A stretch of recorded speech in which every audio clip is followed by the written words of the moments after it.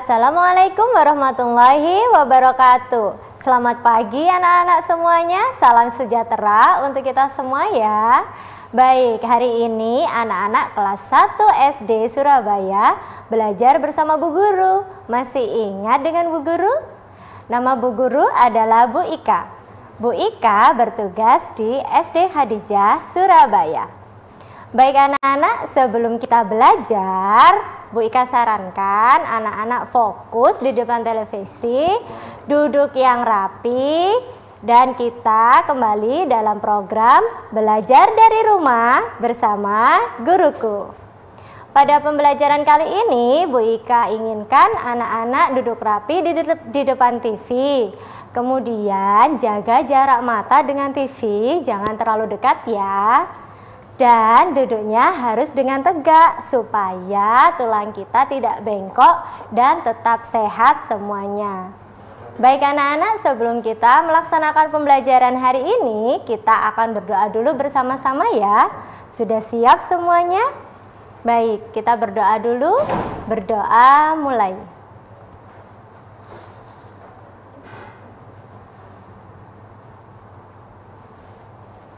Berdoa selesai. Setelah kita berdoa, sekarang kita siapkan buku kita. Buku paket tema 3, tema kegiatanku. Kali ini kita masuk ke subtema 2. Sudah siap semua bukunya? Disiapkan juga alat tulisnya seperti pensil, tepak, penghapus, dan alat tulis yang dibutuhkan untuk belajar hari ini. Nah, untuk pembelajaran kali ini, tujuan pembelajaran kita adalah yang pertama, mengidentifikasi kosakata tentang kegiatan malam hari dengan tepat. Untuk tujuan pembelajaran yang kedua adalah menceritakan kembali dengan menunjukkan kosakata tentang kegiatan malam hari dengan tepat. Baik anak-anak, sekarang kita akan belajar tentang kosakata. Apa itu kosakata? Kosakata adalah kumpulan kata yang dimiliki suatu bahasa. Seperti pembelajaran yang lalu, kita juga sudah pernah belajar tentang kosakata ya. Nah, sekarang Bu Ika mempunyai sebuah gambar. Gambar ini menggambarkan tentang suasana pada malam hari. Coba kita perhatikan di layar kaca kalian ya. Dalam gambar itu bagaimana suasana malam hari? Yang pertama, langit langitnya gelap. Kemudian dalam langit yang gelap di atas ada benda-benda langit yang bersinar.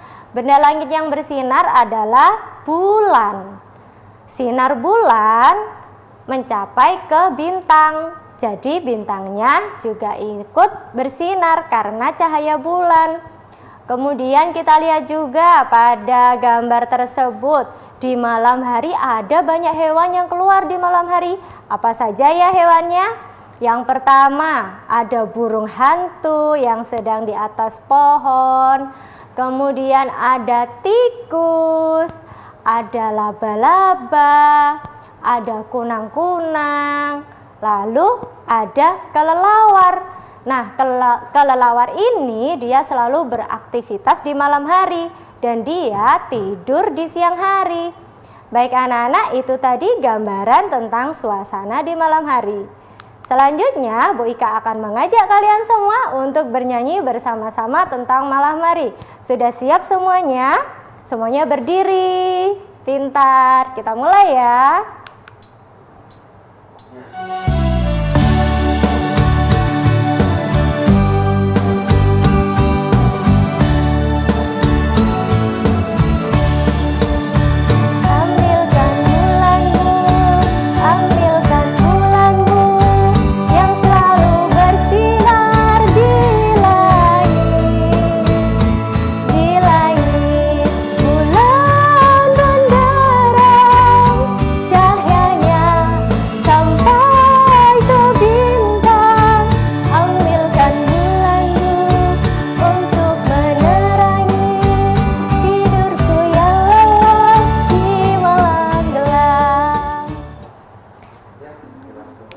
Anak-anak itu tadi lagu tentang malam hari. Sekarang kita akan meneliti kembali kosakata yang kita temukan pada malam hari di lagu yang tadi. Apa kosakata yang kita temukan ya?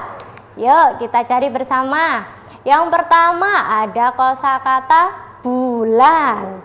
Kemudian ada kata bersinar. Sudah men sudah menemukan dua ya. Kita cari lagi. Kemudian ada langit. Selanjutnya ada bintang.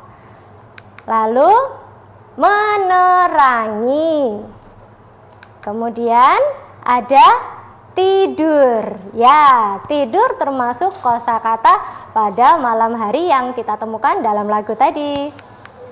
Lalu ada lelap. Terus ada gelap. Dan yang terakhir kita menemukan kata malam. Nah, anak-anak ada berapa ya?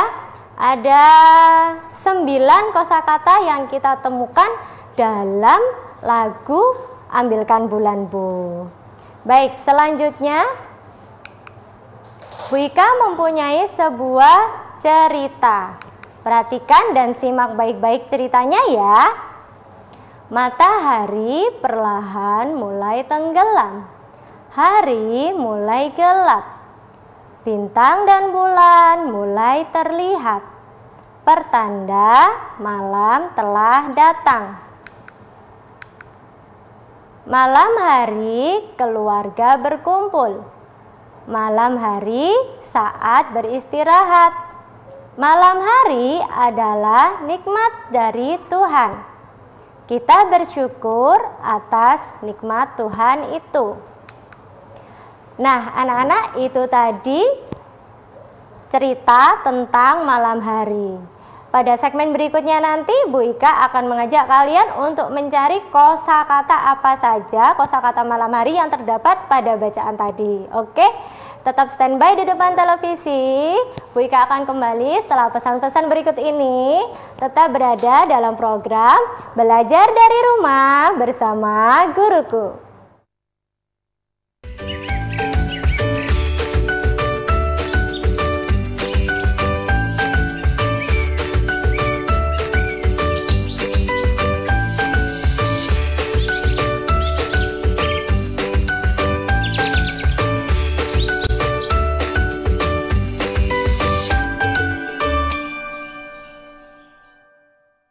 Kami, keluarga besar Dinas Pendidikan Provinsi Jawa Timur mengucapkan selamat hari jadi Provinsi Jawa Timur yang ke-75.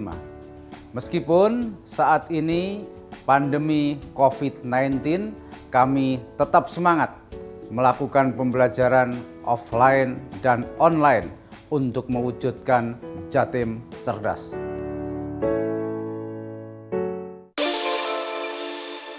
Perempuan itu cantik. Perempuan itu unik. Tapi kadang juga susah dimengerti. Apalagi para kaum hawa yang pasti tidak akan pernah jauh-jauh dari urusan fashion. Ingin tahu dunia kami? Saksikan update cantik hanya di SBO TV. Update cantik, inspirasi perempuan masa kini. Di masa pandemi ini tentu kesehatan adalah poin terpenting untuk kita semuanya. Nah, di depan saya ada kalung Alhaya. Ini menjadi salah satu pilihan tepat untuk menunjang kesehatan healthy people.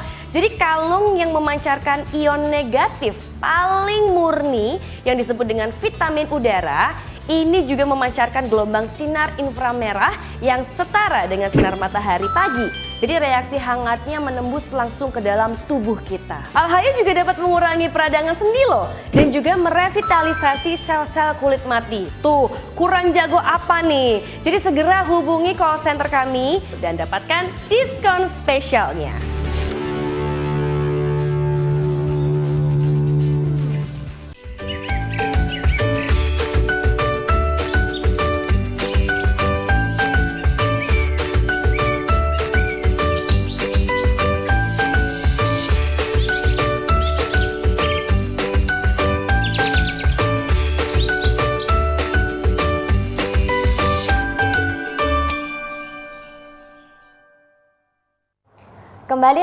Bersama Bu Ika dalam program Belajar dari Rumah bersama Guruku. Nah, tadi Bu Ika sudah mengajak anak-anak semua un untuk membaca cerita yang sudah Bu Ika sampaikan. Sekarang Bu Ika akan mencari kosakata tentang malam hari dari bacaan yang sebelumnya. Anak-anak sudah siap ya mencari bersama-sama? Kita cari bersama-sama. Kosakata yang kita temukan pertama adalah tenggelam. Kemudian kita nemu apa lagi ya? Kita menemukan kata malam. Lalu kita menemukan kata bintang. Kata selanjutnya yaitu bulan. Kemudian gelap. Kata selanjutnya berkumpul. Lalu keluarga. Nah, dalam bacaan tadi kita sudah menemukan kosakata yang berjumlah ada tujuh kata. Baik anak-anak, sekarang kita lanjutkan kembali tentang cerita pada malam hari. Sudah siap semuanya menyimak cerita berikut ini? Kita simak baik-baik ya. Malam hari. Matahari terbenam, tanda malam telah datang. Bulan dan bintang bersinar terang kelelawar mulai terbang. Jangkrik pun bernyanyi riang. Burung hantu keluar dari sarang. Kelap-kelip cahaya si kunang. Sambutlah malam dengan hati senang. Kita dapat beristirahat dengan tenang. Mata pun akan terpejam saat kantuk datang. Malam adalah nikmat Tuhan yang tak terbilang. Baik anak-anak, sekarang kita akan mencari hewan apa saja yang kita temukan di malam hari pada bacaan tadi. Sudah siap? Baik, hewan yang pertama ada apa? Kelelawar, lalu ada jangkrik, kemudian ada kunang-kunang. Lihat, kunang-kunang dia bersinar ketika malam hari. Lalu ada burung hantu yang alisnya cetar ya. Nah, sekarang kita lihat juga tulisannya kelelawar. K E L E L A W A R. Kemudian kita lihat lagi ada jangkrik, tulisannya dilihat, ada huruf J, A, N, G, K, R, I, K. Nah, sekarang kita lanjut. Ada hewan kunang-kunang, perhatikan hurufnya. K, U, N, A, N, G. Diulang lagi ada huruf K, U, N, A, N, dan G. Selanjutnya hewan burung hantu. Coba perhatikan hurufnya ya. B, U, R, U, N, G. H, A, N, T, dan U. Nah, itu tadi penulisan pada kata-kata hewan. Nah, sekarang Bu Ika mau tanya, ketika anak-anak pada malam hari, apakah pernah bertemu dengan kelelawar? Pernah. Jika pernah, kita centang ya. Bu Ika juga pernah bertemu kelelawar saat malam hari. Selanjutnya, bunyi jangkrik atau hewan jangkriknya. Pernah mendengar bunyinya? Pernah. Bu Ika juga sering mendengarkan bunyi jangkrik pada malam hari terutama jika kita sedang berada di pedesaan ya. Selanjutnya ada kunang-kunang. Anak-anak pernah melihat kunang-kunang? Hewan yang berkelap-kelip ketika malam hari berterbangan. Nah, itu adalah kunang-kunang. Pasti kalian semua pernah menemui kunang-kunang. Selanjutnya ada burung hantu. Anak-anak pernah bertemu burung hantu? Biasanya kita bertemu di kebun binatang ya? Ya, burung hantu muncul ketika malam hari. Nah, sekarang benda langit apa saja ya yang kita temui ketika malam hari? Yang pertama, kita bertemu dengan bintang. Bintang berkelap-kelip di langit, ya. Kemudian yang kedua, benda langit yang kedua kita temui pada malam hari adalah bulan. Nah, bulan ini bersinar ketika malam hari. Sinarnya memantul sampai ke bintang, sehingga bintang juga ikut bersinar di langit. Nah, anak-anak, sekarang kita akan bermain bersama mencari kosakata yang sudah kita baca pada bacaan yang tadi. Kira-kira kosakata apa saja yang kita temukan? Coba, sekarang kita buka bukunya. Siapkan pensilnya. Kita akan melingkari bersama-sama kosakata pada tabel berikut ini. Kosakata yang pertama adalah kelelawar. Sudah dilingkari semuanya? Oke, sekarang kita lanjut kita menemukan kata cahaya. Lalu kita menemukan kata kantuk. Kata gelap, malam, jangkrik, terbenam, bulan, terpejam, dan bintang. Nah, anak-anak sekarang kita lingkari di buku kalian masing-masing, kemudian kita catat bersama-sama.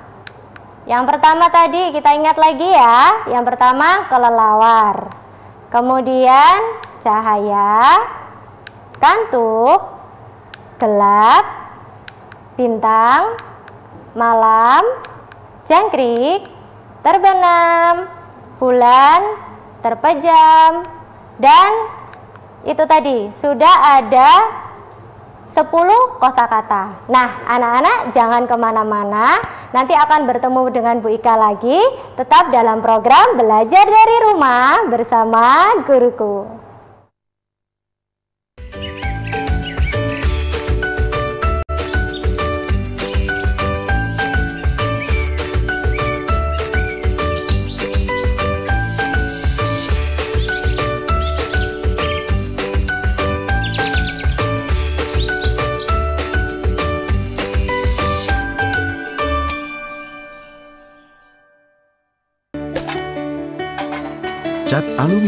Dari Emco.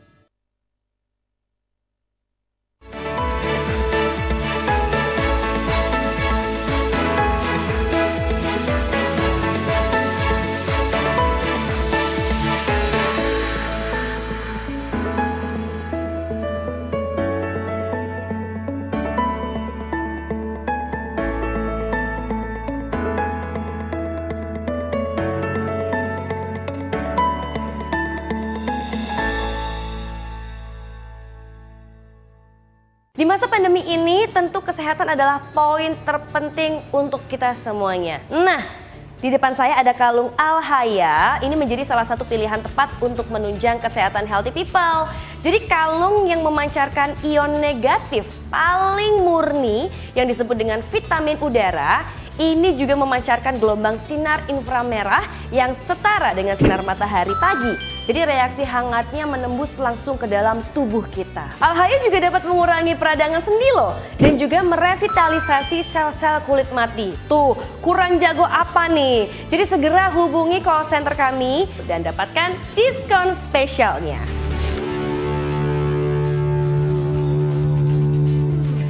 Jadilah bagian dari perubahan ke arah yang lebih baik, lebih peka, dan peduli dengan permasalahan yang ada di sekitar Anda. Anda bisa berbagi aspirasi dan informasi di sekitar Anda untuk kami kabarkan secara langsung dalam program Laporin Aja.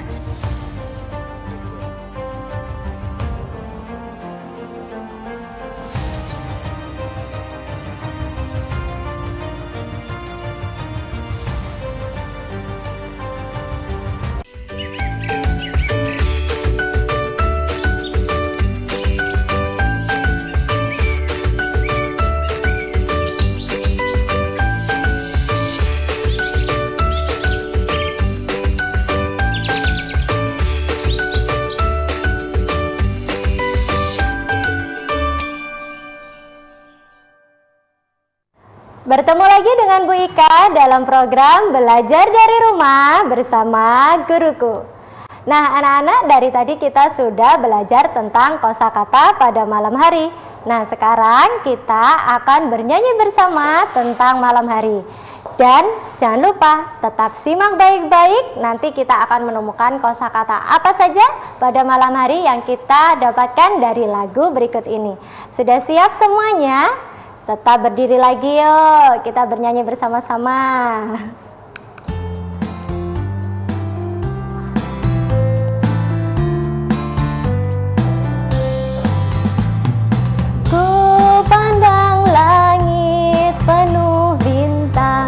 bertaburan